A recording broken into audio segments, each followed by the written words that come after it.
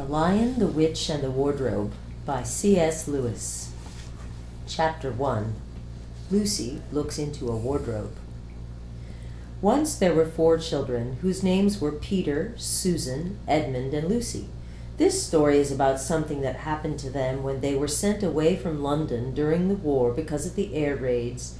They were sent to the house of an old professor who lived in the heart of the country, ten miles from the nearest railway station and two miles from the nearest post office. He had no wife, and he lived in a very large house with a housekeeper called Mrs. Macready and three servants. Their names were Ivy, Margaret, and Betty, but they do not come into the story very much. He himself was a very old man with shaggy white hair which grew over most of his face as well as on his head, and they liked him almost at once. But on the first evening when he came out to meet them at the front door, he was so odd looking that Lucy, who was the youngest, was a little afraid of him, and Edmund, who was the next youngest, wanted to laugh and had to keep on pretending he was blowing his nose to hide it. As soon as they had said good night to the professor and gone upstairs on the first night, the boys came into the girls' room and they all talked it over. We've fallen on our feet, and no mistake, said Peter. This is going to be perfectly splendid. That old chap will let us do anything we like. I think he's an old dear, said Susan. Oh, come off it, said Edmund, who was tired of pretending not to be tired, which always made him bad tempered. Don't go on talking like that. Like what? said Susan. And anyway, it's time you were in bed. Trying to talk like mother, said Edmund. And who are you to say when I'm to go to bed? Go to bed yourself. Hadn't we all better go to bed? said Lucy. There's sure to be a row if we're heard talking here. No, there won't, said Peter. I tell you, this is the sort of house where no one's going to mind what we do. Anyway, they won't hear us. It's about ten minutes' walk from here down to that dining room, and any amount of stairs and passages in between. What's that noise? said Lucy suddenly. It was a far larger house than she had ever been in before, and thought of the thought of all those long passages and rows of doors leading into empty rooms was beginning to make her feel a little bit creepy. It's only a bird, silly, said Edmund. It's an owl, said Peter. This is going to be a wonderful place for birds. I shall go to bed now. I say, let's go and explore tomorrow. You might find anything in a place like this. Did you see those mountains as we came along? And the woods, there might be eagles, there might be stags, there'll be hawks. Badgers, said Lucy. Foxes, said Edmund. Rabbits, said Susan. But when next morning came, there was a steady rain falling, so thick that when you looked out of the window, you could see neither the mountains, nor the woods, nor even the stream in the garden. Of course, it would be raining, said Edmund. They had just finished their breakfast with the professor and were upstairs in the room he had set apart for them a long, low room with two windows looking out in one direction and two in another. Do stop grumbling, Ed, said Susan. Ten to one it'll clear up in an hour or so. And in the meantime, we're pretty well off. There's a wireless and lots of books. Not for me, said Peter. I'm going to explore in the house. Everyone agreed to this, and that was how the adventures began. It was the sort of house that you never seemed to come to the end of, and it was full of unexpected places. The first few doors they tried led only into spare bedrooms, as everyone had expected that they would, but soon they came to a very long room full of pictures, and there they found a suit of armor, and after that was a room all hung with green, with a harp in one corner, and then came three steps down and five steps up, and then a kind of little upstairs hall and a door that led out onto a balcony, and then a whole series of rooms that led into each other and were lined with books, most of them very old books, and some bigger than a Bible in a church. And shortly after that, they looked into a room that was quite empty except for one big wardrobe, the sort that has a looking glass in the door. There was nothing else in the room at all except a dead blue bottle on the window sill. Nothing there, said Peter, and they all trooped out again, all except Lucy. She stayed behind because she thought it would be worth while trying the door of the wardrobe, even though she felt almost sure that it would be locked. To her surprise, it opened quite easily, and two mothballs dropped out. Looking into the inside, she saw several coats hanging up, mostly long fur coats. There was nothing Lucy liked so much as the smell and feel of fur. She immediately stepped into the wardrobe and got in among the coats and rubbed her face against them, leaving the door open, of course, because she knew that it is very foolish to shut oneself into any wardrobe. Soon she went further in and found that there was a second row of coats hanging up behind the first one. It was almost quite dark in there, and she kept her arms stretched out in front of her so as not to bump her face into the back of the wardrobe. She took a step further in, then two or three steps, always expecting to feel woodwork against the tips of her fingers, but she could not feel it. This must be a simply enormous wardrobe, thought Lucy, going still further in and pushing the soft folds of the coats aside to make room for her. Then she noticed that there was something crunching under her feet. I wonder is that more mothballs, she thought, stooping down to feel it with her hand. But instead of feeling the hard, smooth wood of the floor of the wardrobe, she felt something soft and powdery and extremely cold. This is very queer, she said, and went on a step or two further. Next moment she found that what was rubbing against her face and hands was no longer soft fur, but something hard and rough and even prickly. Why, it's just like branches of trees, exclaimed Lucy. And then she saw that there was a light ahead of her, not a few inches away where the back of the wardrobe ought to have been, but a long way off. Something cold and soft was falling on her. A moment later, she found that she was standing in the middle of a wood at night time with snow under her feet and snowflakes falling through the air. Lucy felt a little frightened, but she felt very inquisitive and excited as well. She looked back over her shoulder, and there, between the dark tree trunks, she could still see the open doorway of the wardrobe and even catch a glimpse of the empty room from which she had set out. She had, of course, left the door open, for she knew that it is a very silly thing to shut oneself into a wardrobe. It seemed to, to be daylight there. I can always get back if anything goes wrong, thought Lucy. She began to walk forward, crunch, crunch over the snow and through the wood toward the other light. In about ten minutes she reached it and found it was a lamp post. As she stood looking at it, wondering why there was a lamp post in the middle of a wood and wondering what to do next, she heard a pitter patter of feet coming toward her. And soon after that, a very strange person stepped out from among the trees into the light of the lamp post. He was only a little taller than Lucy herself, and he carried over his head an umbrella, white with snow, from the waist upward he was like a man, but his legs were shaped like a goat's. The hair on them was glossy black, and instead of feet he had goat's hooves. He also had a tail, but Lucy did not notice this at first because it was neatly caught up over the arm that held the umbrella so as to keep it from trailing in the snow. He had a red woolen muffler around his neck, and his skin was rather reddish too.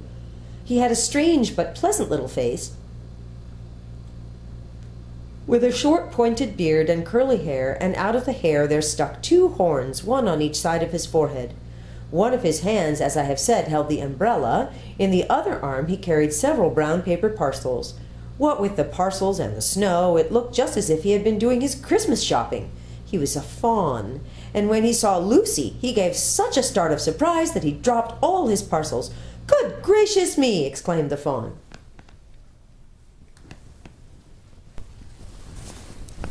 Chapter 2 What Lucy Found There.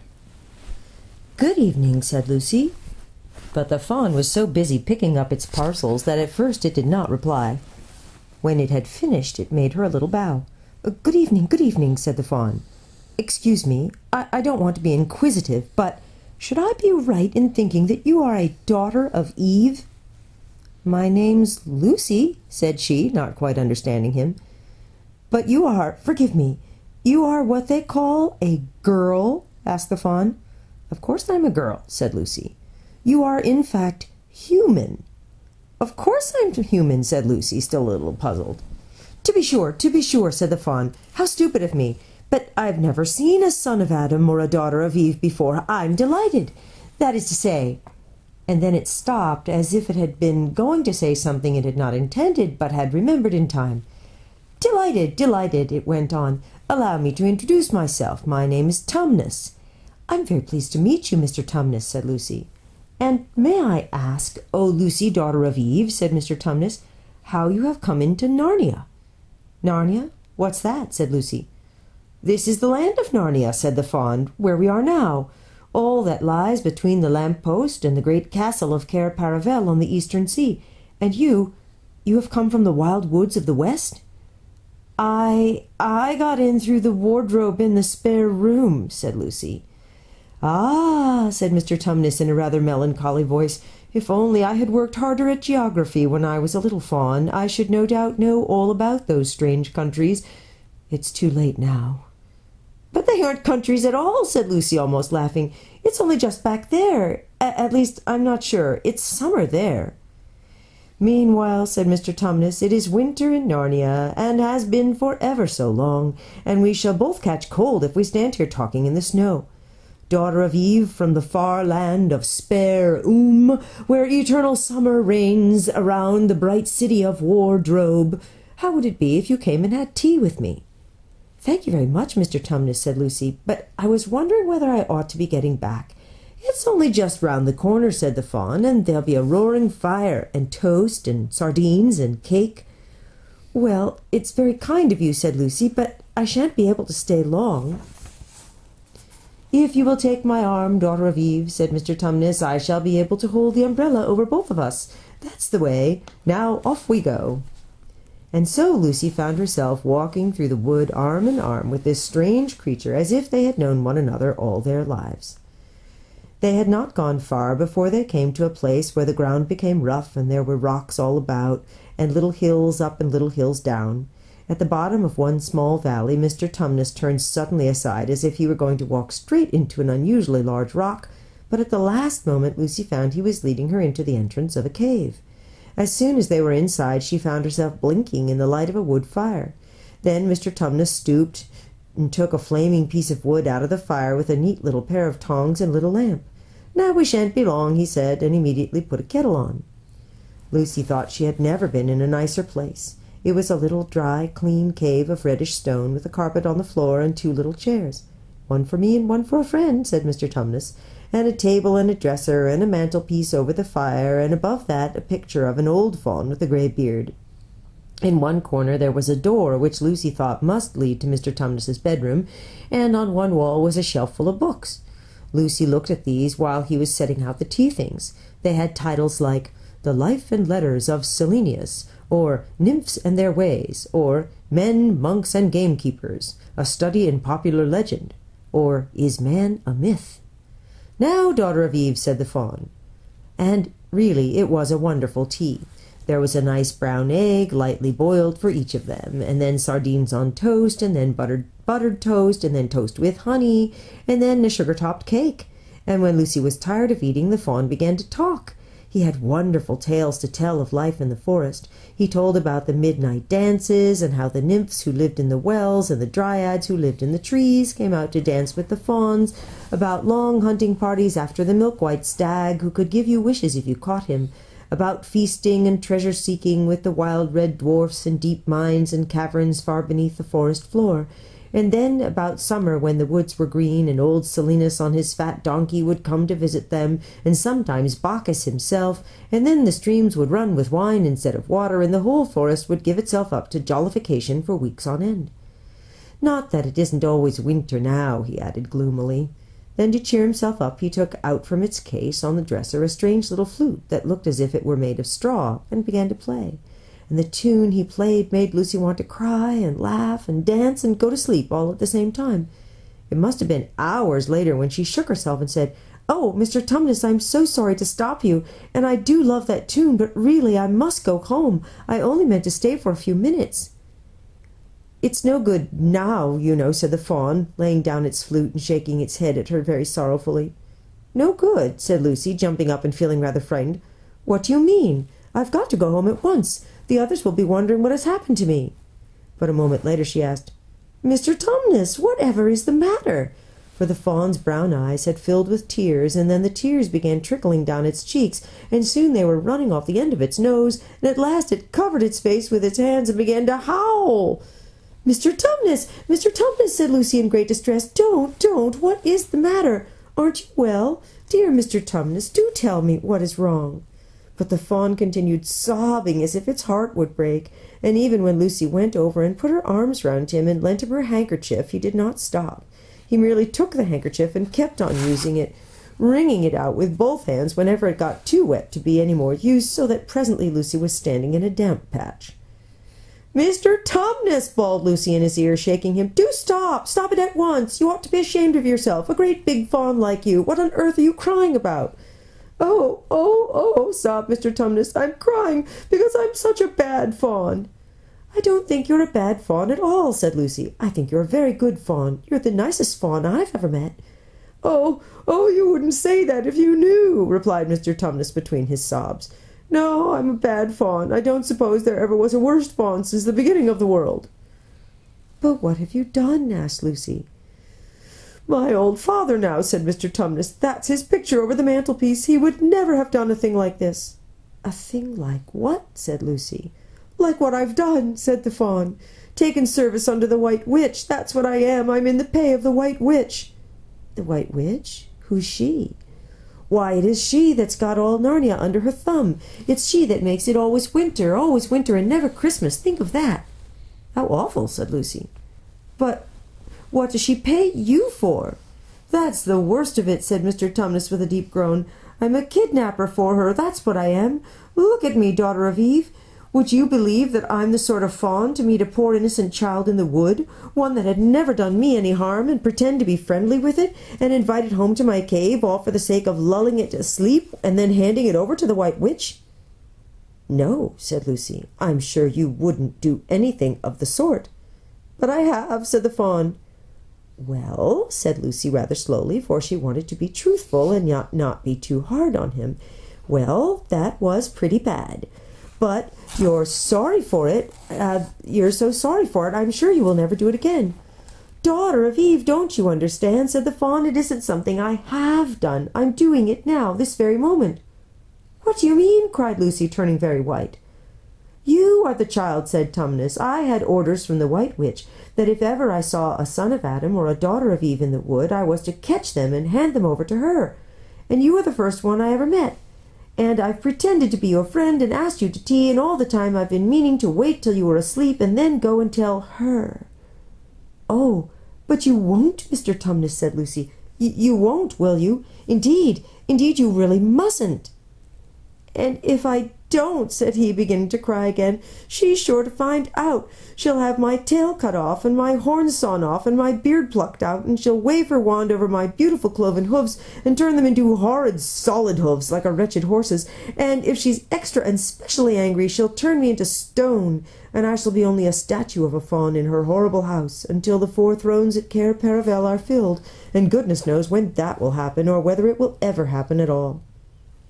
I'm very sorry, Mr. Tumnus, said Lucy, but please let me go home. Of course I will, said the faun. Of course I've got to. I see that now. I hadn't known what humans were like before I met you. Of course I can't give you up to the witch, not now that I know you, but we must be off at once. I'll see you back to the lamp post. I suppose you can find your own way from there back to Spare Oom and Wardrobe. I'm sure I can, said Lucy. We must go as quietly as we can, said Mr. Tumnus. The whole wood is full of her spies. Even some of the trees are on her side. They both got up and left the tea things on the table, and Mr. Tumnus once more put his umbrella, put up his umbrella, and gave Lucy his arm. And they went out into the snow. The journey back was not at all like the journey to the faun's cave. They stole along as quickly as they could without speaking a word, and Mr. Tumnus kept to the darkest places. Lucy was relieved when they reached the lamp post again. Do you know your way from here, daughter of Eve? said Tumnus. Lucy looked very hard between the trees and could just see in the distance a patch of light that looked like daylight. Yes, she said, I can see the wardrobe door. Then be off quick. Home as quick as you can, said the faun. And c- c- can you ever forgive me for what I meant to do? Why, of course I can, said Lucy, shaking him heartily by the hand, and I do hope you won't get into dreadful trouble on my account. Farewell, daughter of Eve, said he. Perhaps I may keep the handkerchief? Rather, said Lucy, and then ran toward the far-off patch of daylight as quickly as her legs would carry her. And presently, instead of rough branches brushing past her, she felt coats, and instead of crunching snow under her feet, she felt wooden boards, and all at once she found herself jumping out of the wardrobe into the same empty room from which the whole adventure had started. She shut the wardrobe door tightly behind her, and looked around, panting for breath. Was still raining, and she could hear the voices of the others in the passage. I'm here, she shouted. I'm here. I've come back. I'm all right.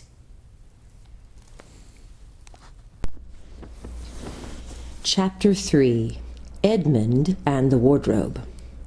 Lucy ran out of the empty room into the passage and found the other three.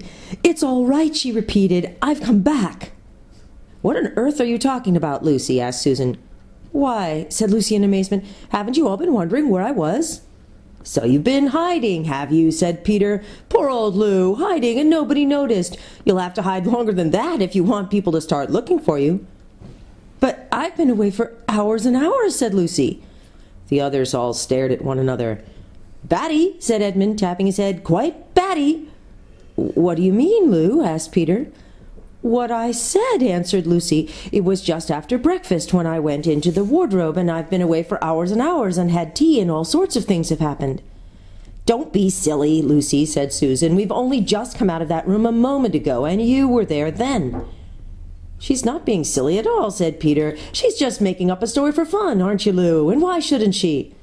No, Peter, I'm not, she said. It's it's a magic wardrobe. There's a wood inside it, and it's snowing, and there's a faun and a witch, and it's called Narnia. Come and see. The others did not know what to think, but Lucy was so excited that they all went back with her into the room. She rushed ahead of them, flung open the door of the wardrobe, and cried, Now, go in and see for yourself. Why, you goose, said Susan, putting her head inside and pulling the fur coats apart. It's just an ordinary wardrobe. Look, there's the back of it. Then everyone looked in and pulled the coats apart, and they all saw, Lucy herself saw, a perfectly ordinary wardrobe. There was no wood and no snow, only the back of the wardrobe with hooks on it. Peter went in and rapped his knuckles on it to make sure that it was solid. A jolly good hoax, Lou, he said as he came out again. You have really taken us in, I must admit. We have believed you. But it wasn't a hoax at all, said Lucy, really and truly. It was all different a moment ago. Honestly, it was. I promise. Come, Lou, said Peter. That's going a bit far. You've had your joke. Hadn't you better drop it now? Lucy grew very red in the face and tried to say something, though she hardly knew what she was trying to say, and burst into tears. For the next few days she was very miserable. She could have made it up with the others quite easily at any moment if she could have brought herself to say that the whole thing was only a story made up for fun. but Lucy was a very truthful girl, and she knew that she was really in the right, and she could not bring herself to say this. The others who thought she was telling a lie, and a silly lie too, made her very unhappy. The two elder ones did this without meaning to do it, but Edmund could be spiteful, and on this occasion he was spiteful. He sneered and jeered at Lucy and kept on asking her if she'd found any other new countries in other cupboards all over the house. What made it worse was that these days ought to have been delightful. The weather was fine, and they were out of doors from morning to night, bathing, fishing, climbing trees, and lying in the heather. But Lucy could not properly enjoy any of it, and so things went on until the next wet day. That day, when it came to the afternoon, and there was still no sign of a break in the weather, they decided to play hide and seek. Susan was it, and as soon as the others scattered to hide, Lucy went to the room where the wardrobe was. She did not mean to hide in the wardrobe because she knew that would only set the others talking again about the whole wretched business. But she did want to have one more look inside it, for by this time she was beginning to wonder herself whether Narnia and the faun had not been a dream. The house was so large and complicated and full of hiding places that she thought she would have time to have one look into the wardrobe and then hide somewhere else. But as soon as she reached it, she heard steps in the passage outside, and then there was nothing for it but to jump into the wardrobe and hold the door closed behind her. She did not shut it properly because she knew that it's very silly to shut oneself into a wardrobe, even if it is not a magic one. Now, the steps she had heard were those of Edmund, and he came into the room just in time to see Lucy vanishing into the wardrobe. He at once decided to get into it himself, not because he thought it a particularly good place to hide, but because he wanted to go on teasing her about her imaginary country. He opened the door. There were the coats hanging up as usual, and a smell of mothballs, and darkness and silence, and no sign of Lucy. She thinks I'm Susan, come to catch her, said Edmund to himself, and so she's keeping very quiet in the back. He jumped in and shut the door, forgetting what a very foolish thing this is to do. Then he began feeling about for Lucy in the dark. He had expected to find her in a few seconds and was very surprised when he did not. He decided to open the door again and let in some light, but he could not find the door either. He didn't like this at all and began groping wildly in every direction. He even shouted out, Lucy! Lou! Where are you? I know you're here! There was no answer, and Edmund noticed that his own voice had a curious sound, Not the sound you expect in a cupboard, but a kind of open air sound. He also noticed that he was unexpectedly cold, and then he saw a light. Thank goodness, said Edmund. The door must have swung open of its own accord. He forgot all about Lucy and went toward the light, which he thought was the open door of the wardrobe. But instead of finding himself stepping out into the spare room, he found himself stepping out from the shadow of some thick dark fir trees into an open place in the middle of a wood. There was crisp, dry snow under his feet, and more snow lying on the branches of the trees. Overhead there was a pale blue sky, the sort of sky one sees on a fine winter day in the morning. Straight ahead of him he saw between the tree trunks the sun, just rising, very red and clear. Everything was perfectly still, as if he were the only living creature in that country. There was not even a robin or a squirrel among the trees, and the wood stretched as far as he could see in every direction. He shivered. He now remembered that he had been looking for Lucy, and also how unpleasant he had been to her about her imaginary country, which now turned out not to have been imaginary at all. He thought that she must be somewhere quite, quite close by, and so he shouted, Lucy, Lucy, I'm here too, Edmund. There was no answer. She's angry about all the things I've been saying lately, thought Edmund, and though he did not like to admit that he had been wrong, he also did not much like being alone in this strange, cold, quiet place. So he shouted again, I say, Lou, I'm sorry I didn't believe you. I see now. You were right all along. Do come out. Make it, Pax. Still. Still, there was no answer. Just like a girl, said Edmund to himself, sulking somewhere, won't accept an apology. He looked round him again and decided he did not much like this place, and had almost made up his mind to go home, when he heard, very far off in the wood, a sound of bells. He listened, and the sound came nearer and nearer, and at last there swept into sight a sledge drawn, drawn by two reindeer. The reindeer were about the size of Shetland ponies, and their hair was so white that even the snow hardly looked white compared with them. Their branching horns were gilded and shone like something on fire when the sunrise caught them. Their harness was of scarlet leather and covered with bells. On the sledge, driving the reindeer, sat a fat dwarf who would have been about three feet high if he had been standing. He was dressed in polar bear's fur, and on his head he wore a red hood with a long gold tassel hanging down from its point. His huge beard covered his knees and served him instead of a rug. But behind him, on a much higher seat in the middle of the sledge, sat a very different person, a great lady, taller than any woman that Edmund had ever seen. She also was covered in white fur up to her throat, and held a long, straight golden wand in her right hand, and wore a golden crown on her head. Her face was white, not merely pale, but white like snow or paper or icing sugar, except for her very red mouth. It was a beautiful face in other respects, but proud and cold and stern. The sledge was a fine sight as it came sweeping toward Edmund with the bells jingling and the dwarf cracking his whip and the snow flying up on each side of it. Stop! said the lady, and the dwarf pulled the reindeer up so sharp that they almost sat down. Then they recovered themselves and stood champing their bits and blowing. In the frosty air, the breath coming out of their nostrils looked like smoke. And what, pray, are you? said the lady, looking hard at Edmund. I'm. I'm. My name's Edmund, said Edmund rather awkwardly. He did not like the way she looked at him. The lady frowned. Is that how you address a queen? she asked, looking sterner than ever. I beg your pardon, your majesty. I didn't know, said Edmund. Not know the Queen of Narnia, cried she. Ha! You shall know us better hereafter. But I repeat, what are you? Please, your majesty, said Edmund, I, I don't know what you mean. I'm at school. At least I was. It's the holidays now. The story continues with chapters 4 through 6 on the next recording.